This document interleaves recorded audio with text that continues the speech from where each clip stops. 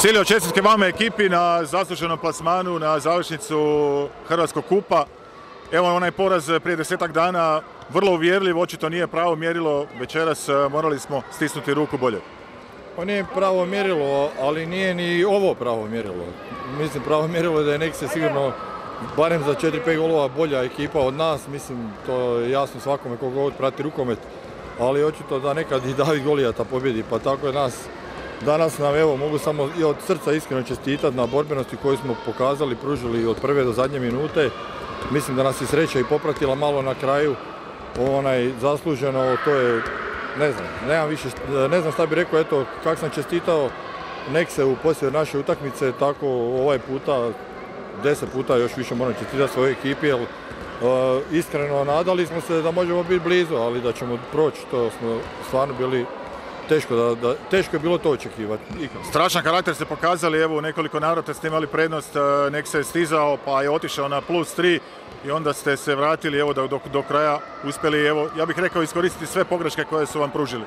Pa je, pokazujemo mi karakter e, cijelu ovu sezonu, imali smo osam europskih utakmica, sedam pobjeda, što je doslovce skoro nama prva sezona u Europi.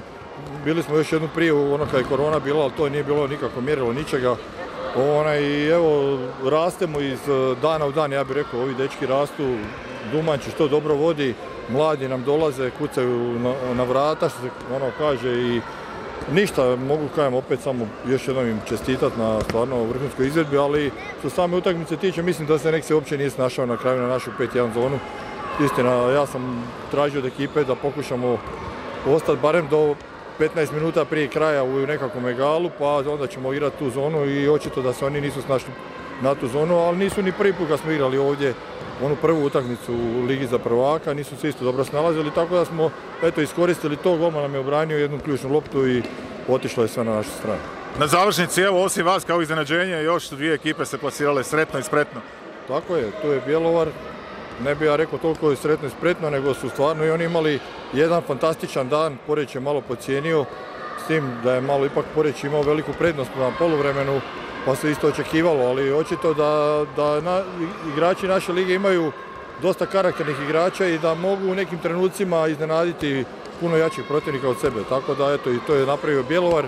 Trogir je inače već igra dvije godine jako dobar rukomet.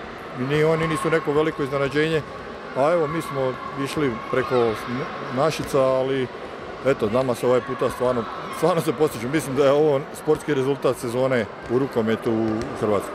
Čestitke i sretno u Poreću. Hvala vam.